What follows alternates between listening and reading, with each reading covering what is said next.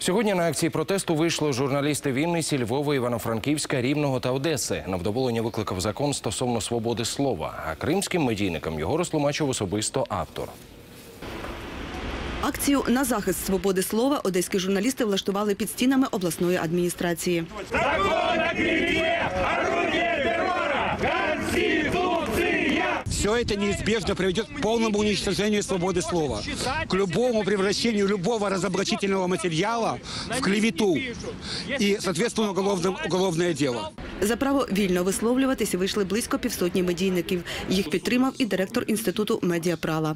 будь-якого журналіста е, закрити за е, те, що він написав в своєму блозі на Фейсбуці якийсь вислів. За цим законом достатньо одного дня, щоб заборонити Фейсбук в Україні.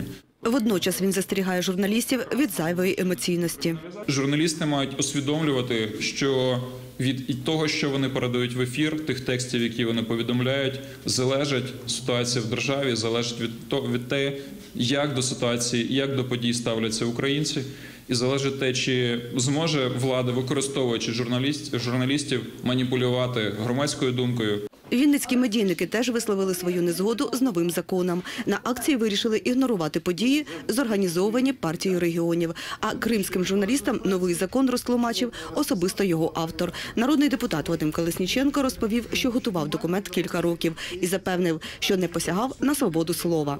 Если суд признал, что эта информация распространенная является недостоверной и оскорбляющейся достоинство, и если человек продолжает эту информацию распространять, в этом случае это называется клевета. Законодавець нагадав, що в усіх європейських країнах передбачена кримінальна відповідальність за наклеп і образу. Дарина Кошеленко, Олексій Керман. Інформаційна програма «Сабиття».